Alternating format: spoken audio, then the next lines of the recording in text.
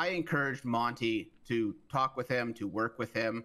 Uh, I don't. He, he never once took the fifth. I never encouraged him to take the fifth, and now he's being punished for it. So, you know, I, I know where you're coming from. Um, I don't you know. guys to me, were asking the fifth is like a first admission of guilt. Yeah, right. me. So like we're we're But I, I I don't know. For me, I'm kind of kicking myself.